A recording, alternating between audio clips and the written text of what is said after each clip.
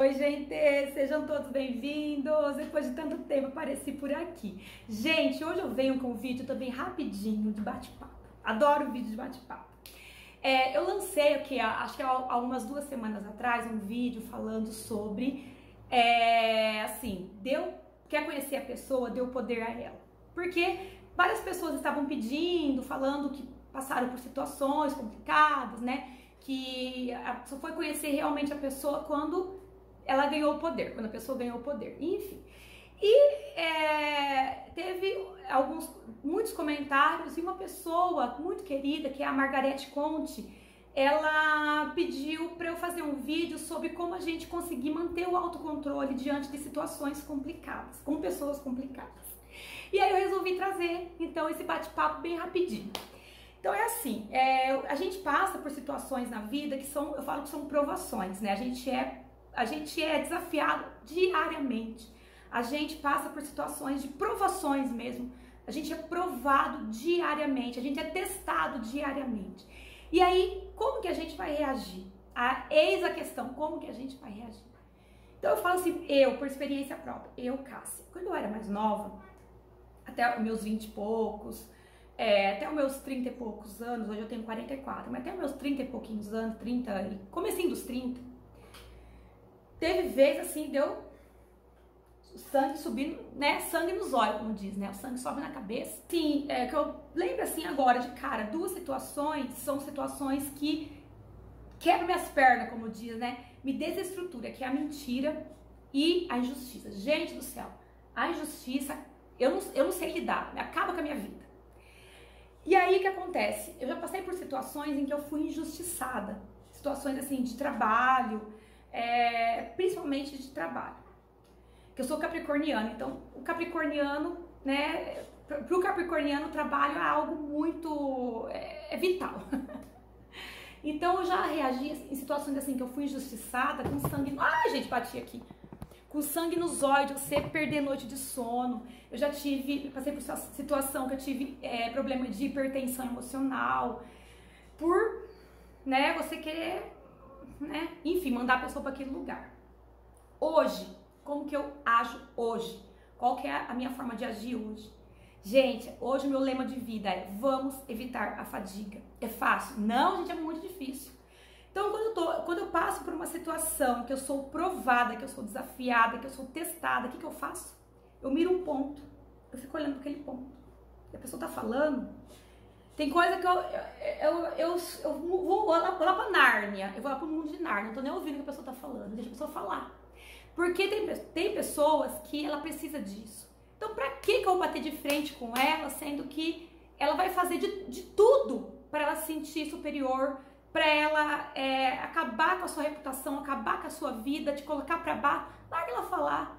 Porque ela vai falar um monte de coisa e você vai sair por cima. Eu falo assim: retire-se na elegância, Retire-se no silêncio. É, é fácil? Gente, é terrível, é difícil. Chore, mas chore no chuveiro. Quando você chegar em casa. Quando a pessoa estiver falando, deixa ela falar, mira um ponto assim, ó. Eu miro um ponto, um buraquinho na parede, um negocinho ali, ó, e fico olhando, e a pessoa tá falando ali, tô concordando. Uhum. Mentalize assim, ó, vamos evitar a fadiga. Porque, gente, agindo assim, a gente evita tanto problema. Porque tem pessoas que são tão problemáticas, que ela tem autoestima tão baixa, ela tem problema dela, é dela pessoal, problema de família, problema da, que ela vive ali na casa dela, no ambiente familiar, é coisa dela, que tá encalacrado nela. Mas ela precisa projetar no outro para ela se sentir bem, é um mecanismo inconsciente. Então é tão automático que ela faz isso o tempo todo. E ela precisa então eleger alguém para ela é, falar coisas ruins, acabar com a pessoa, rebaixar a pessoa, humilhar a pessoa, pisar a pessoa para ela se sentir bem. Porque ela fazendo isso é uma compensação pro ego dela. Aí ela se sente bem.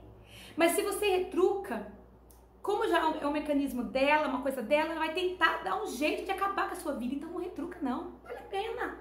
Evita fadiga, vamos evitar rugas, vamos evitar, né? Vamos deixar nossa cutis bem feliz, né? Nossa cutis bem tratada. Vamos evitar dor de estômago, vamos evitar alergia, vamos evitar da gente somatizar porque o nosso corpo sofre, a nossa, saúde física sofre quando o nosso emocional não está bem. Então, façam isso, gente.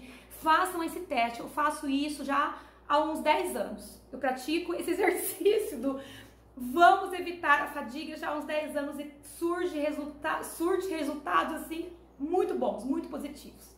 Eu evito muito problema. Eu miro um ponto e fico ali olhando. Uhum. Uhum. Ah, tá. Tô, sim, tudo bem. Por dentro você tá assim, querendo mandar a pessoa para aquele lugar. Mas por fora, sinta-se plena. Mostre que você está plena. Gente, isso é, é, é um escudo, é uma proteção.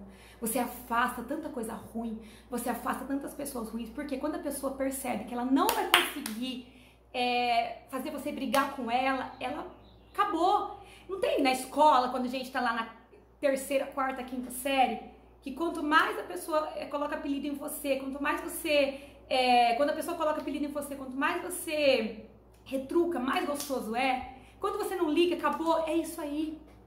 Né? Se você não reforça, o negócio entra em extinção. Né? A psicologia trabalha muito isso. Se você não reforça um comportamento, ele entra em extinção. Então, se a pessoa tentar te ofender, te magoar, te rebaixar, ela, ela ou então inflamar uma situação para você brigar, para ela sair por vítima, para ela sair por cima, é o que ela quer. Agora, se você não entra na dela, você extingue, extingue o comportamento dela. Ela vai ter que procurar outra vítima, outra pessoa para pisar. Então faça isso, gente. Depois vocês me falem.